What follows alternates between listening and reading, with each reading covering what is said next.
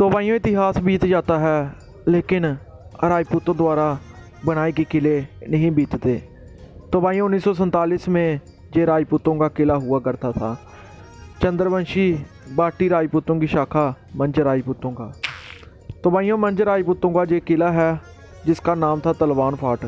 तलवान एक बहुत बड़ा गाँव होता था, जलंधर ज़िले में, और तलवान से ही जहाँ के राजा अपनी हुकूमत चलाते थे।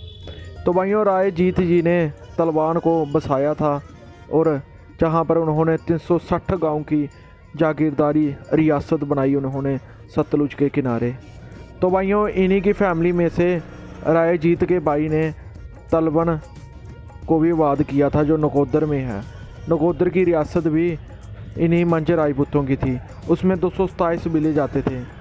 और राय कल्ला मंच जो आप वंशावली देख रहे हो, एक राय जीत, राय कल्ला।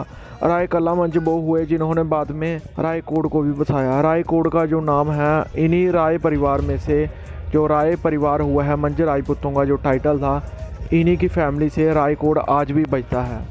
वो उन्नीस सौ सैंतालीस में दूसरे देश में चले गए, मुस्लिम होने की वजह से, लेकिन किसी दिन इनके पुरखों का जहाँ पर हुकूमत थी राज थी, जहाँ पर किसी दूसरे धर्म के राजपूत का राज नहीं था, बल्कि मुस्लिम मंच राजपूतों का राज हुआ करता था। तो भाइयों, इसके अलावा फोआबाड़ा में भी बारह गाँव की जागीरदारी थी, लेकिन यूँ आज इसकी हालत देख लो, जहाँ से अराय परिवार अपनी हुकूमत चलाते थे।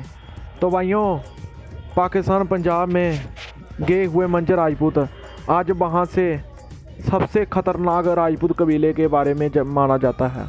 तो भाइयों, जे वहाँ पर भी घोड़े वगैरह चलाने के शौकीन हैं और ये हमेशा लड़ने के लिए तैयार रहते हैं।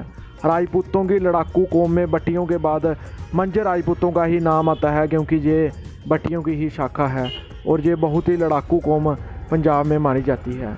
तो सभी भाई, वीडियो को ज़्यादा से ज़्यादा शेयर करें।